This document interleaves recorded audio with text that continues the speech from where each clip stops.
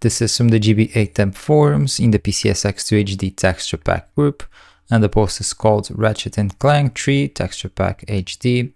The textures were created by TexMaster, and if you scroll down, you can see here the download link, and then you can download the HD texture pack or the HD textures.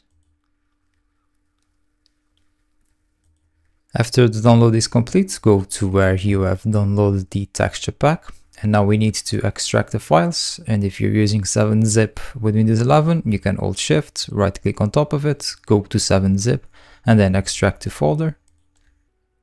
Then copy or cut this folder, go to PCSX2, go to Tools, open Data Directory, go inside of the textures folder and paste the folder in here and the textures are now installed, go back to PCSX2, right click on top of the game and then go to properties.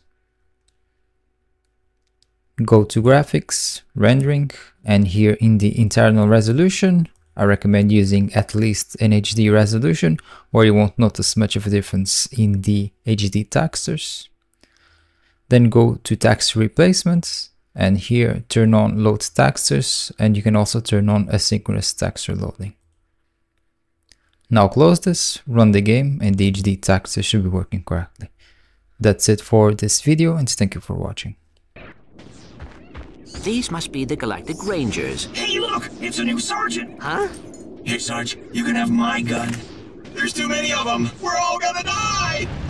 Press circle to fire your shock blaster.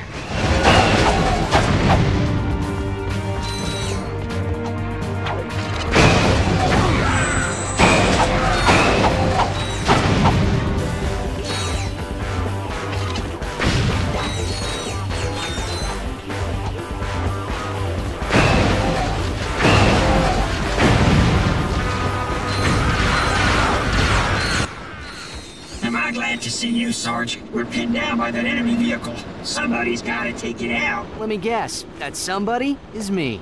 We gotta volunteer! Here, Sarge, take this! We'll cover you! From back there! Try using the nitro launcher against that vehicle.